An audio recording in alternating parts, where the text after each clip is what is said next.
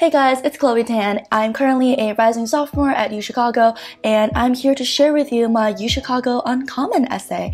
Um, I've already filmed this video once, but due to audio quality reasons, hi guys, it's Chloe Tan. I decided to refilm it for you guys, and so here I am again today. Today is also the last day of my Beijing internship. If you guys are interested, UChicago doesn't start school until the 1st of October, so technically for us, it is still summer break. I know for a lot of you, you guys are either caught in between like the college move-in orientation week time, or school has already started for you guys, or you're struggling with college apps. Honestly, one of the worst experiences you can ever have in like high school life. Also, one of the reasons why I started this channel is because I got a lot of questions about my application, about my essays, and I decided to make this channel for you guys. Let's just get started. The prompt I selected for my UChicago Uncommon essay was the late New York Times photographer Bill Cunningham once said, Fashion is the armor to survive the reality of everyday life. I don't think you could do away with it. It would be like doing away with civilization. Tell us about your armor. And this is inspired by Adam Berger, class of 2020. The reason why I picked this prompt was because I had already written two personal statements, and one of my personal statements became the Common App essay, and I felt like I really liked my other essay. And so even though I was totally willing to write another UChicago Uncommon essay just for UChicago, I really felt like I had put like the best of my a little bit of my writing into that second personal statement. So I really wanted to find a way to incorporate that into my application. Some of you may ask, why didn't I pick the prompt where, you know, I get to write the prompt myself? Um, and the answer to that is honestly because I didn't know how to correctly phrase a prompt. I felt like anything I came up with was like very trite, very mundane, and it made my essay, more importantly, seem mundane for example, if I ask you what your favorite color is and you say blue, that's much more mundane if I had asked you like what's your vision of the world in like 10 years and you say blue, right? Like that's immediately just like a little bit more interesting. It sparks a little bit more of your interest. And so I really wanted that kind of feeling and I felt like my essay could fit that. So moving on to how I decided about what I want to write about for my essay. Um, I went through a lot of different brainstorming processes for this like personal statement too and I ended up picking something that would demonstrate another side of myself. So my big PS, like my like main PS, which I will link in this video as well, was about me being really inquisitive uh, and sometimes being a little bit like insensitive and how I kind of like learned from that. My why essay, which is found earlier on my channel, focused more about like my love for UChicago and my unique perspective through pretending to be a gargoyle. And this one, which is my uncommon supplement, I wanted to demonstrate more my writing skills and my ability to craft you very intricate and beautiful images with just a couple words. So with that in mind, let's just go into reading a bit of my essay, analyzing a bit of it, and so on and so forth. Pick up a pen gently, for the ink that flows within the nib is your weapon. Caress the pen's protective shell of steel or tungsten carbide, for you must feel the strength of the armor that protects its creator.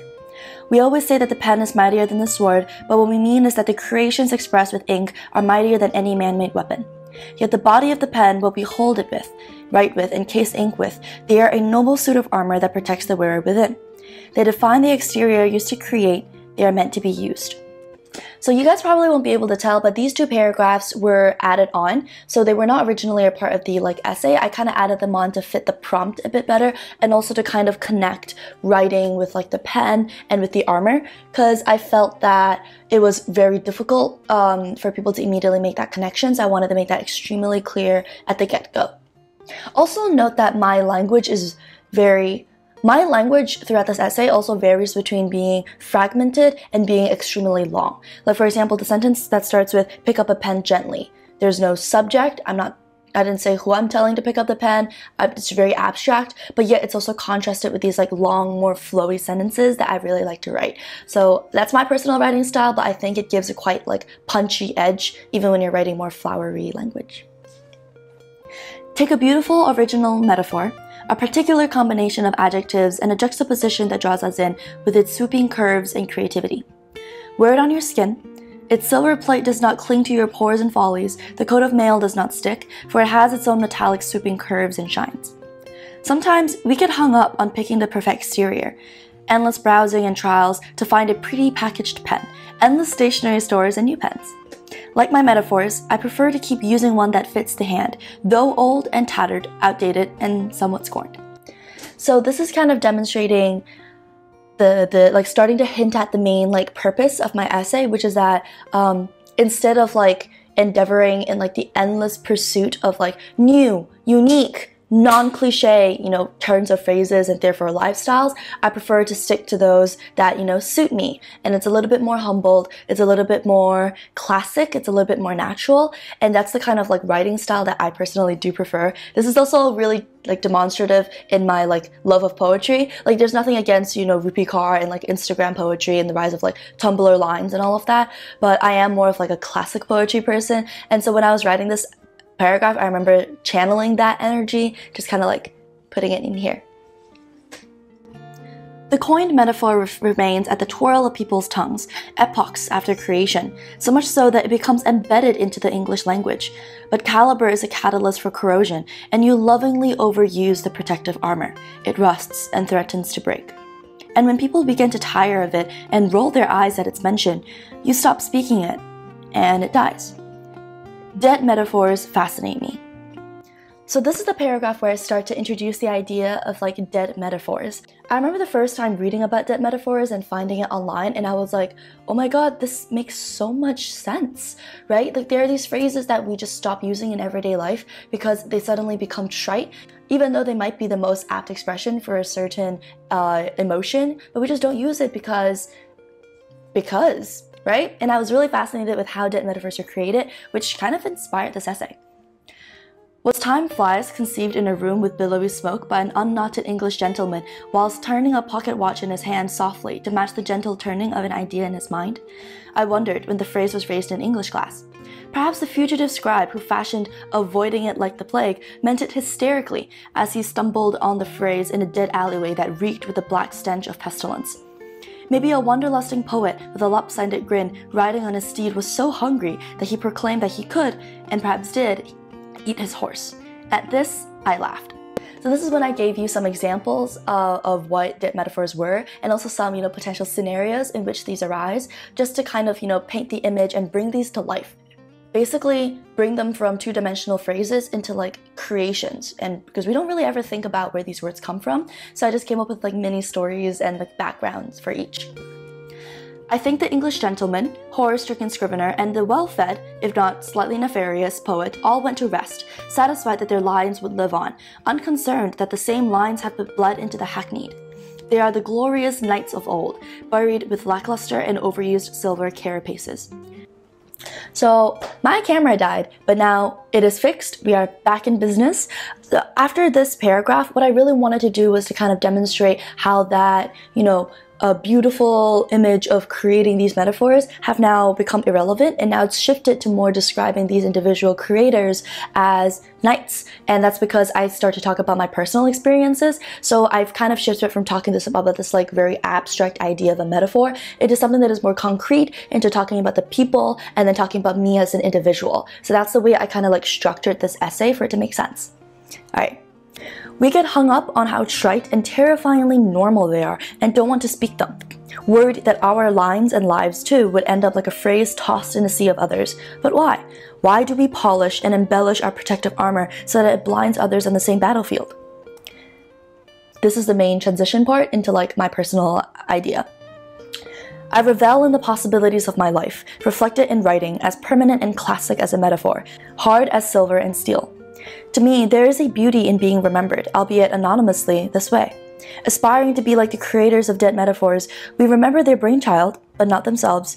I think this a goal worthy of a lifetime, of striving to create new and original combinations of black and white letters. I find myself punning almost subconsciously. Sometimes I employ my silver carapace, like an anticlimactic matusion, to clang through tense and awkward um now what situations. Other times I rouse rounds of eye rolling by tossing a jest into serious political discussions. When asked in English class my thoughts on Whitman's The Earth by the Sky stayed with, with the daily close of their junction, I replied with a simple, well, what was Whitman being so metaphor? A few crisp chuckles ensued. Metaphors, synecdoches, puns, euphemisms, personifications, they are as much protection as they are offensive weapons used in a self-imagined battle with my imagination set in everyday life. So this is me, you know, finally transitioning to my everyday life. And here I talk about the first use of like metaphors and like actual language, which is, you know, in English class or just like a more like a more relatable use of language I pun a lot in my like YSA and my personal statement too. So I kind of wanted to like bring that idea back um, here, just like, you know, just like highlight it a little bit. All right. The last sentence though, it is a transition into my more serious part. In full magnificent medieval glory, I use my metaphors as an outlet for a truth I demand to tell, for a higher chivalric purpose. When the school paper bowdlerized my story on how to identify and cope with depression beyond recognition because it was too difficult for students to understand, which is the school's armor against bad publicity, I swallowed hard, calmed down, and instead submitted an innocent tale about a girl who kept a shadowy and elusive cat that gave her constant and painful scratches on her arms and how she healed them gently. The Psychology Club thanked me in a passing line in their mental health article. In one white writer's words, we've all had to cope with a scratchy cat. Sometimes it's about more than just wit. So here I kind of hint at the impact that I've wanted to achieve with my words within school and I've kind of like hint at just like my personal beliefs about how language should be used, which I definitely didn't focus on, but I thought it was really I thought it was much more telling for me to, you know, link up this like very abstract idea into something more concrete and also showed a little bit more about myself. The desire to instill my thoughts and beliefs in my writing persists. I will not deny the nights I sit and polish my full steel plate harness rigorously. Yet I write not to be remembered as an individual. My small quips are meant to be whispered in casual conversations, my bon mots sometimes shown in print and given undivided attention in class. I want my words to take their place among countless others. I want to stand among countless others on a battlefield. I write to be remembered as part of a greater whole. I'm not concerned with I simply must be special, the must try to be most original, because I am too in love with discovering 101 ways to metaphorically express happiness, or comparing spiky tumbleweeds with my hedgehogs, or finding new ways to phrase neglected and serious issues, or attempting to fit in polysyndetons. sentence. I pick up the pen gently and write myself a suit of armor. This last paragraph I really enjoyed. I kind of tied in my entire essay.